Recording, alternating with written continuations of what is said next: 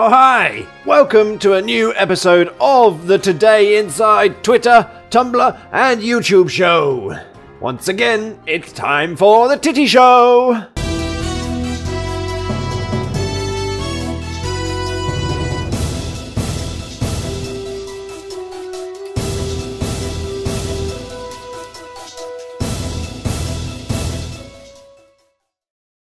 First of all, straight away today, we are going to be looking at YouTube and an internet sensation that has hit our screens, whether it's in form of a phone, an iPad, or your computer. Everyone knows about this. That's right, there's no escape. The clutches of the evil yodeling boy in Walmart. Now, this kid has gone absolutely viral across the whole of the internet. Any platform that you can kind of imagine that he's on, he is on it. And it's just been memeified and loved and shared and hated and cringed at non stop since it was released. But back on the 29th ish of March, someone released a video on YouTube of this little boy just stood in the middle of Walmart, yodeling his little heart out.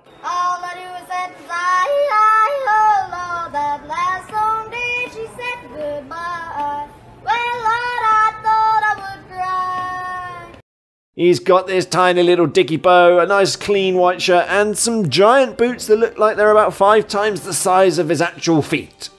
Now, I'm English, we don't have Walmart out here, but we've all seen the posts about Walmart, about the crazy, the weird, the random, the insane, the slightly mad people that tend to go to Walmart at all hours of the day. Now, this kid just seems to be one of them. He may be a little bit weird, maybe a little bit strange, and why he ever decided to go to Walmart and yodel, I will never know. However, once again, the power of the internet, add some cool lightning effects here, has made him go completely viral and everyone is falling in love with him. So much so that people have decided to rework the video in many different ways, shapes, and forms with their creative genius that is just flowing from their noodle.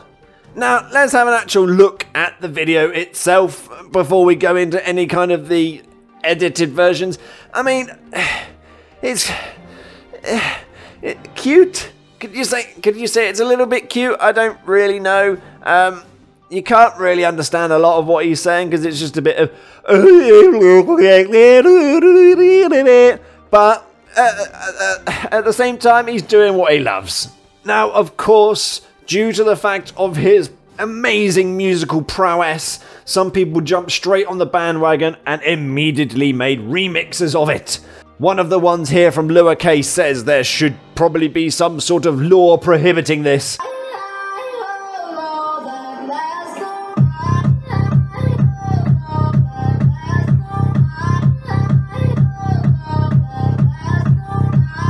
He has decided to do a remix, and as soon as the beat kicks in, do that classic thing of zooming ahead into the screen because that makes the music better, apparently. Um, anyway, yes. it's not a bad remix, to be fair. I, definitely prefer this to the original. Um, not that I'm going to be buying it on iTunes anytime soon.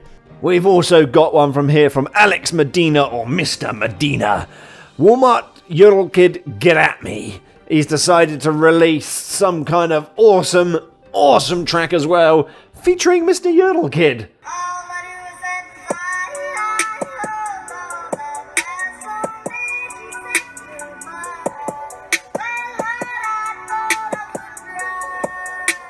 Responses seem to be positive. Everyone seems to be kind of giving a bit of a groove on, throwing their pads up in the air, having a little bit of a party along to it. Um, some not so much, some are a little bit disappointed, but most are bobbing their heads and agreeing that this, this is the new career for Yodeling Kid. Get together with some kind of hip hop or rap artist, get them remixes in, and start a yodeling career for life. People were tempted to copycat the yodeling kid by going to Walmart or some kind of shop and doing the same thing. This lady here, it says Jacob, bro, we ran into the yodeling kid at Walmart. However, this person, they look dead inside. Look at the look at the pain in their eyes. They're, they're trying so hard to make something that out of something that's already nothing, and they know they're failing miserably. They even tried to get some kind of wig and oversized boots with a dicky bow to match the yodeling kid. But of course, my favourite is going to be animal related, and welcome to Doug the Pug. Now, I was a little bit disappointed with the fact that Doug wasn't actually yodeling himself. I think they might be millionaires if that was the case. However, Doug is the cutest freaking pug ever, as most pugs are, as most dogs are, really. But he is just there, chilling in Walmart, just enjoying his moment in his little tiny dress thing that he's got going on with his tassels and his star spangly bits across, just yodeling away, just enjoying the tune, just very, very cool. We have to now go across to my colleague Wrinkly Nip for the brief update message. That's right, it's time for a bum with Wrinkly Nip. Cheeseburgers! Next, moving on to Twitter. In the moments today, we have got 10 of the funniest British tweets of the week. Now, I don't know how many British people of you out there are following me or watching this or even give a shit, but they've decided to go out there, find a few little tidbits of comedy from us, the British, who have clearly the best comedy sense in the world, and show it to the rest of the world. Now, the first one that they've showed here is from Amber. And it says, So, mum bought a £40 toilet seat from IKEA, gets home and starts freaking out because it's bright blue. And she's chucked the receipt away. Oh no, drama already. After about 30 minutes of accepting it, she's finally got her head around the idea of having a blue toilet. Until I came home and read the label. Now, you would have thought that this was pretty freaking obvious in the first place. It's gonna have some kind of protective seat, and it's got a big off label on the front of it to tell you what to do. But nonetheless, I'm sure that her daughter had a very satisfying moment, not only peeling the toilet seat cover off, but actually using it for the first time from an untouched bottom. Next, we have the ROC Nightclub Hamilton, who have updated their profile picture saying they have an Easter Circus Sunday, or an Easter Sunday Circus, or a Circus Easter Sunday, I'm not quite sure. They have said one pound drinks, popcorn machine, giant ball pit, and a balloon drop giveaway. Now, sounds like a good time. Should be going out and having a good, good laugh. Why not? It's a party. Drinks, popcorn, ball pit, what's not to love? However, Cam went to this party, took a photo of the giant ball pit, and uploaded it for us to see. And here we have it. Kabooshk! Not quite giant, not really many balls in it, not much of a pit either. It's a bit of a massive letdown. It has a few snakes, saxophones that are inflatable. Uh, I have no idea what this company were thinking that we could actually do and achieve as adults in this ball pit. Are you supposed to take your kid, kids along and let them play in this while you go out drinking and getting drunk and God knows what else? And whose idea was it to put a ball pit in a club on a night out? You know that everyone is going to kind of steal at least one of the balls. They're going to end up all over the floor. Drunk people are going to falling over. Someone might end up drowning in the ball pool. It just spells nightmare. Moving on to Ryan Wilson, also known as Diabito, who posted this gif and stated, When the bus driver sets off before you've sat down. And this is brilliant.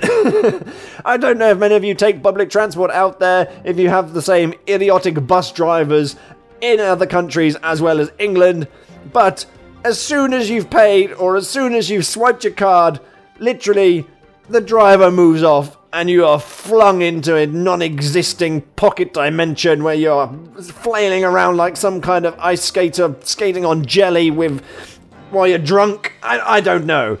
But this is a perfect example and representation of that, and I think everyone in their lifetime has done it, because if you haven't, you are truly not British.